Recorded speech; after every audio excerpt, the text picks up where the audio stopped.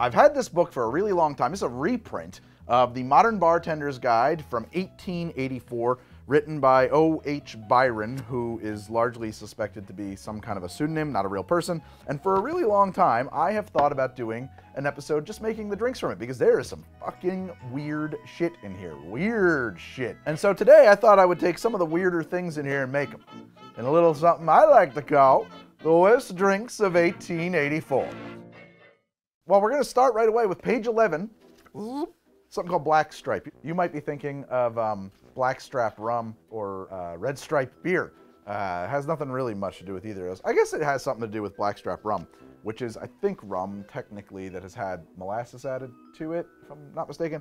Uh, Blackstrap is a small bar glass. We need one wine glass of St. Croix rum or Jamaica, a tablespoons of New Orleans molasses, and if called for in the summer, stir with about a tablespoon of water and cool it with fine ice. If in the winter, fill the glass with boiling water and grate a little nutmeg on top and serve. Shit. I feel like I got to do that. When I planned this out, I wasn't planning on doing the hot and the cold version, but now that I'm reading this, the hot version sounded actually interesting, so we're going to do it both ways. We're going to make the summer and the winter black stripe. Here we go.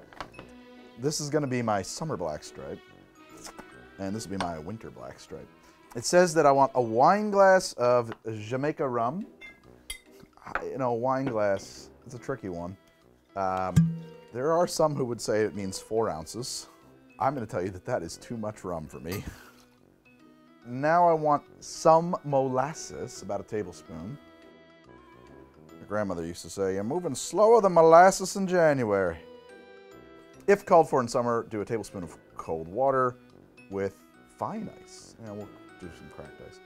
If in winter, fill the glass with boiling water, grate a little nutmeg, and serve. That actually sounds nice. Throw a little bit of water into this one. And we'll crack this ice cube. And we'll stir. Try to get that molasses all mixed in. And we'll put a little boiling water into this guy and stir the same. That's an aroma. Holy shit. It smells like dock work. Gotta pitch the old boards so the boat's nice and watertight there, mateys. Okay, we get some nutmeg on that. This will be the more intense flavor. Let's start with the cold. Whoa, baby! Oh, wow, if only they had had better options. This must have been a sad time. Holy shit. Ooh, that comes back on you. That is not my favorite drink. It is aggressively irony. Um, oh, it is a significant source of iron, so there you go. Uh, yeah, that tastes like metal and anger. It is a very intense flavor. It's not bright. It's not like, ah, up here. It's like, it's death metal. This is death metal.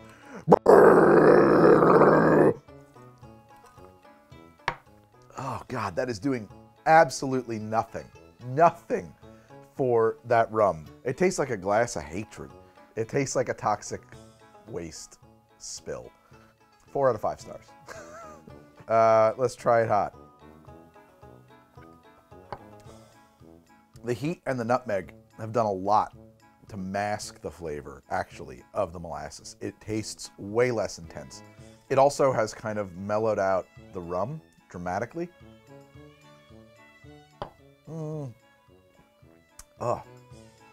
That's like a first note. It's like the smell of like um, house paint, volatile organic compounds. It does round out into like a not entirely unpleasant molasses flavor. I was about to say, you know, like unsweet brown sugar. That's what molasses is. Not much else. Like it does kind of hide the rum and it's somehow kind of toned down. I really think it's the nutmeg because I'm not getting a loud nutmeg expression. It's there. You get it on your nose big time. You really smell it, but it is somehow tempering these other flavors. There is nothing refreshing about this. It's only refreshing insofar as that it makes you think about how much worse your life could be. Please, no more of that. I guess this is a fine time to bring up the fact that all the glasses I use on the show are provided by Viski Glassware. They are the official glassware provider of How to Drink.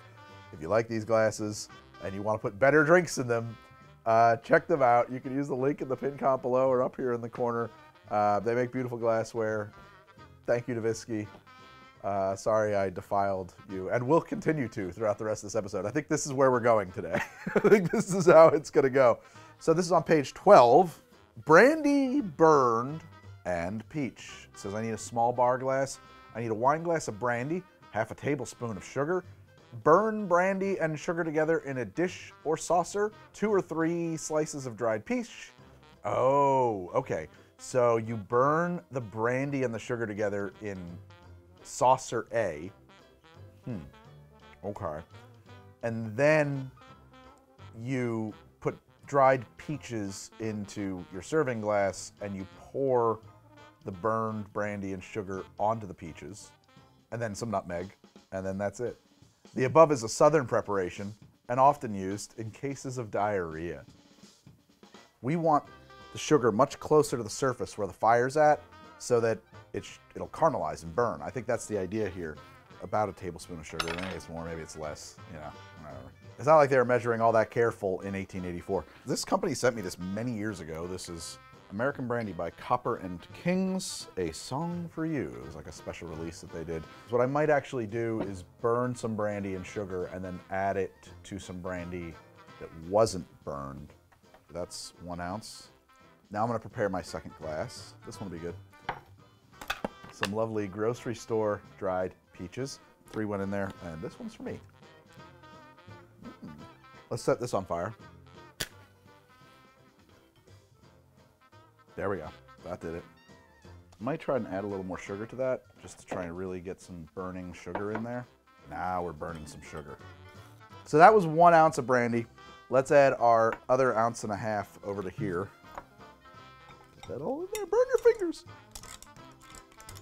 And now I gotta grate some nutmeg on it, as you do in 1884.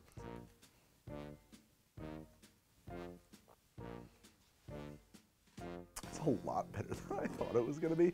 It's a nicely sweet, caramelized kind of brandy. I totally get why they would think this was a cure for diarrhea now, because in a lot of ways this is really close to something like rock and rye, which they thought was like a cure for anything else. It's not hot at all. I kind of wish it was, but I modified how I made it, so that's probably factor. I wonder how the peaches are now, kind of covered in that brandy and sugar.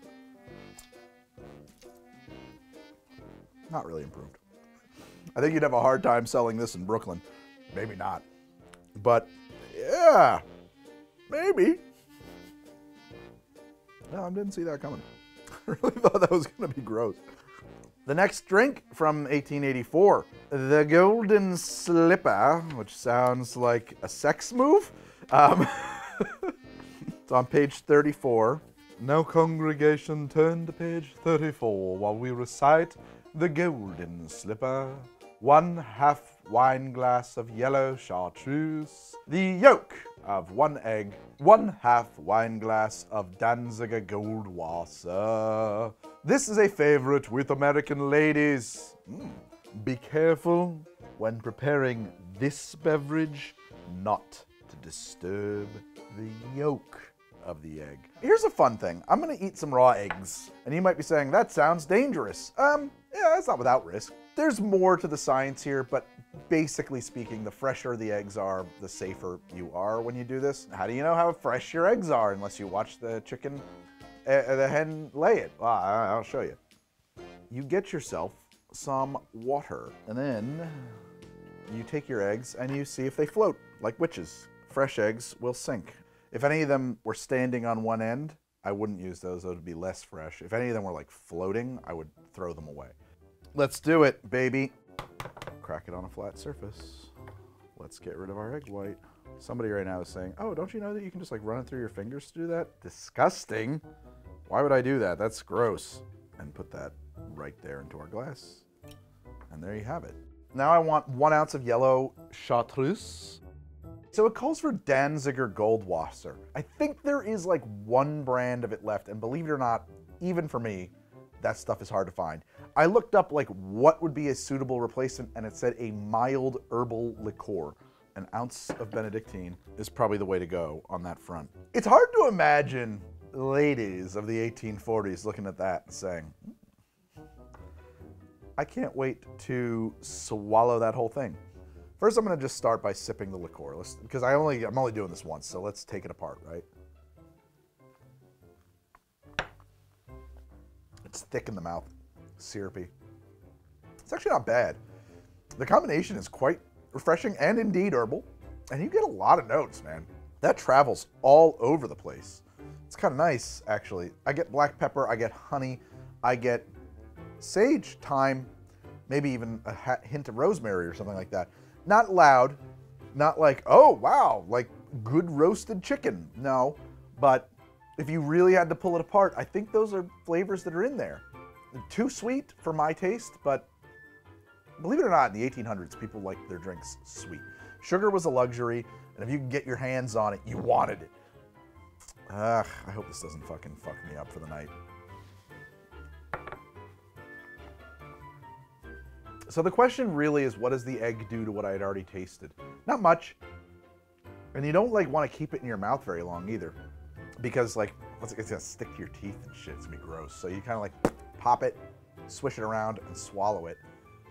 Um, it does add an eggy flavor. It does add a note of um, richness, butteriness, maybe. I don't know. You know, I've, I have not eaten enough raw eggs to really place the flavor of a raw egg for you. Does it taste like other raw eggs I've had? Yeah, sure. Why not? What do I know? Um, I don't get it. It's it's a strange thing. It strikes me as a hangover cure with the note about ladies. Like maybe they said it was like good for period pain or something, and they're like, "Oh, I've got to drink it. I hate it." Uh, but like you know, somebody told them it would help, and and they thought it did, so they did it. Uh, I don't need it in my life. If you can get yourself over eating raw eggs, I guess you could try this. I just don't think you need to. It's not great. It's fucking weird. It's fucking weird. That's really what it is. All right, so the next drink is called the Knickerbein, an eighth of a wine glass of vanilla cordial syrup, the yolk of an egg, which will be carefully covered with Benedictine, a third wine glass of Kümmel, and two drops of Angostura or Boker's bitters. We're going to use Boker's because I use so much Angostura. The same rule here is applied as in making Pousse Café. Keep colors separate and the different portions from running into each other. You know, that's really a presentation thing. So something like this will be fine in this case. So I think we want to start with our vanilla syrup. This is nothing more than simple with some vanilla extract in it. I think I'm going to get heartburn from this episode. Ah! Oh man, did we break the yolk? No. Miraculously, I did not. Wow. Get it down in there without it shattering. Now I want to carefully cover this egg in Benedictine. Now I want aquavit. Aquavit. So this drink actually calls for Kümmel, hard to come by. Near as I can tell, it's a caraway spirit. Aquavit is the best replacement I have access to. And now some Boker's bitters, which is a uh, pretty old school style of bitters. And there you have it, a Knickerbein. Smell. That's a mess. That's a lot of everything. Herbs, spices, um, caraway, vanilla syrup. I'm not smelling that. It almost smells like Worcestershire or something. Ugh, fuck.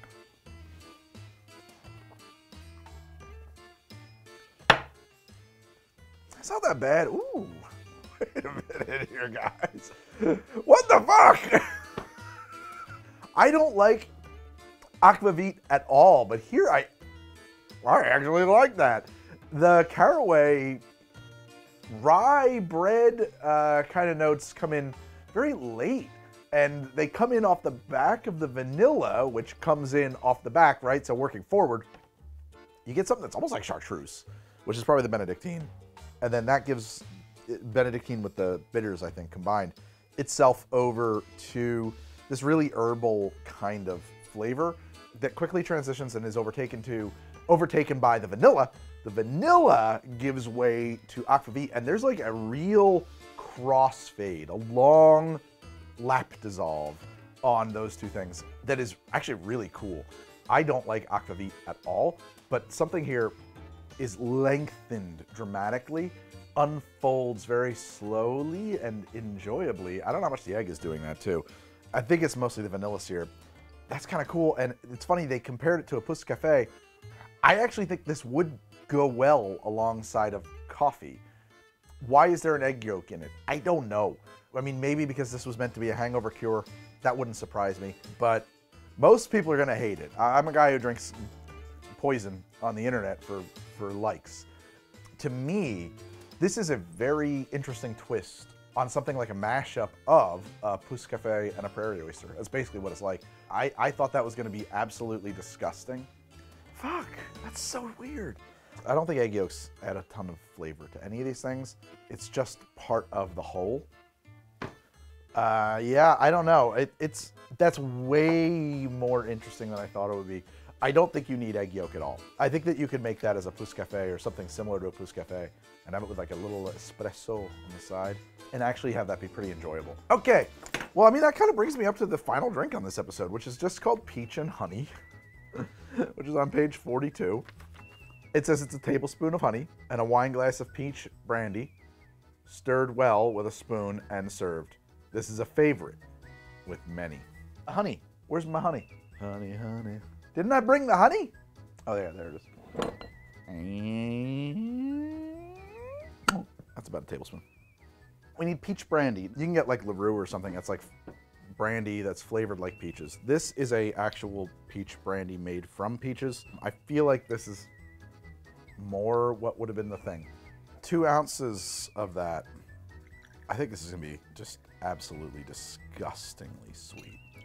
Do your best to kind of stir those two together. Uh, okay, here we go. This is peach and honey. Well, that's what it smells like. It's like much less disgustingly sweet than I thought it would be. I think it would be really much more enjoyable with ice. I mean, it doesn't taste all that different from like a peach tea.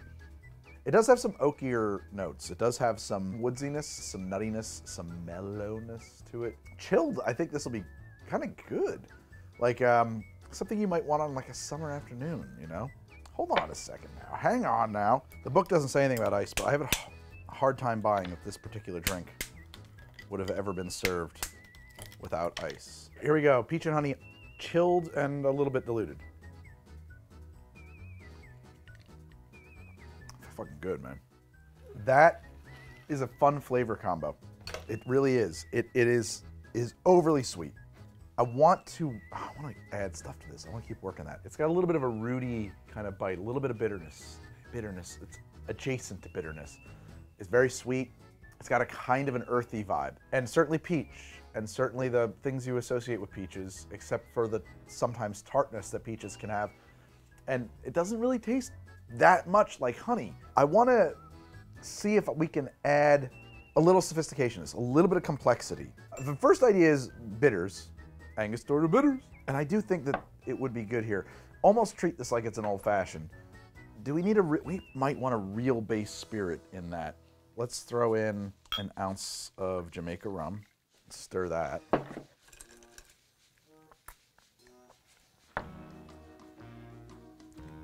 This is a rum that's a little too aggressive for that, but it's no, that's not wrong. The funky hogo notes that are in Smith and Cross are a little too loud for what we got going on here because now we've got some aggressive rum flavors. We got some real pirate juice, some hogo. We got some funky molasses pit fermenting stuff. I think another rum would be fine, a little bit more mild. I think that Appleton Estate would be great. I think that Hamilton 86, like a Demerara rum, would be really nice here. We're, we're too far gone though. We're not going back. It does add like a whole other note. It, it puts it. It's like the center of the drink was missing. The center of the drink is rum now, and it's got honey and peach on the wings. What I wish I had was some fresh mint because fresh mint would go, oh, great in this. It's almost, you know what it's like? It's starting to remind me of like a, um, a sherry cobbler. Now I do want to add the Angostura bitters. Now that we've got some base spirit in there, I want to see what happens when we add some of this bitterness, some of this Christmas spice to it.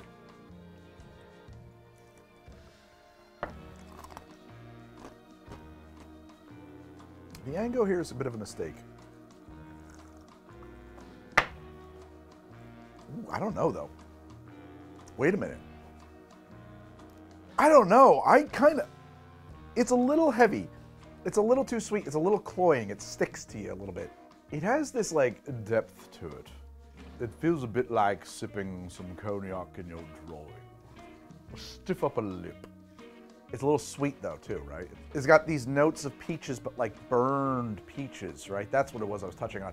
They're missing the brighter notes of peaches. There's no of that acidity, but it's got like peach peel, peach flesh, peach that's been on oak. It's got a bit of that oak, a bit of that toast, a bit of that char. The honey is really not loud as a honey, but it is sweetening the drink a lot. Maybe you would want to, yeah, I think I want to tone that way down.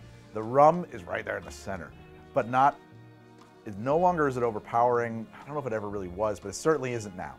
And that is infusing the drink with fire, where you know you're drinking a cocktail. It sets the throat on fire a little bit. It's got some esters, it's got some some fumes in it, you know, it's got some of those fusel oils going on, particularly in this rum. A little bit like the smell of gasoline, a very little bit, distantly, and not in an unpleasant way. It's not even like the smell of gasoline, a little bit is an unpleasant smell, as a person who enjoys a car too. Here's what's weird. It starts out tasting like some kind of a peach dessert. Like you've got peach ice cream covered in rum. When the Angostura Bitters comes in, and it comes in late on this, it goes from being like a peach affogato, affogato, into something that tastes like a baked apple. It, has got those Christmas spices, allspice, um, clove. It's got the makings of a legit tiki drink. I don't have the ingredients to do it. Mint would be cool. Mm. I looked for fresh mint. I don't have any fresh mint. Uh, I couldn't even find Rumple but I do have Smirnoff Peppermint Twist, which I consider to be a pretty good peppermint liqueur at 30% ABV. I don't have any fresh citrus either on hand, um, and I might want that if I was doing a real tiki drink here. However, sometimes from these kinds of limitations, cool ideas can emerge. Maybe even the beginnings of a tiki drink that can be explored with like other ingredients. We're gonna throw some mint in, or sorry, we're gonna throw some some honey, about that much. Our peach brandy.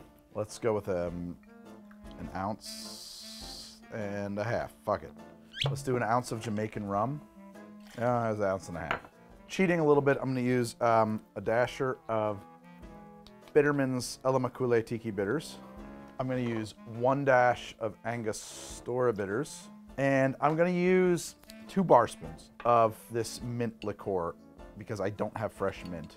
Let's put some ice in our shaker.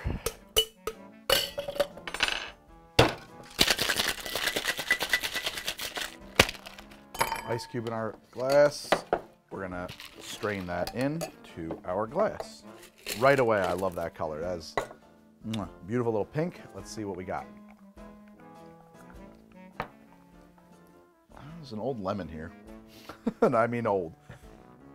It wants some real citrus. I don't feel like going on a hunt for a lime, so, you know, fuck it. Half a lemon is usually about an ounce.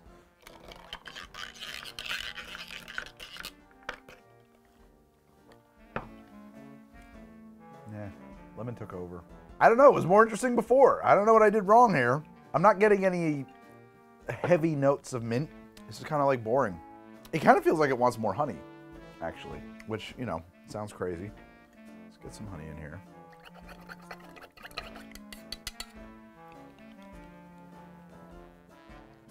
No, that does help it. Oh, wow, weird. Now I can kind of taste the mint. Mint's a mistake. Fresh mint would be a lot different, better. I shouldn't have even tried the mint. Ooh.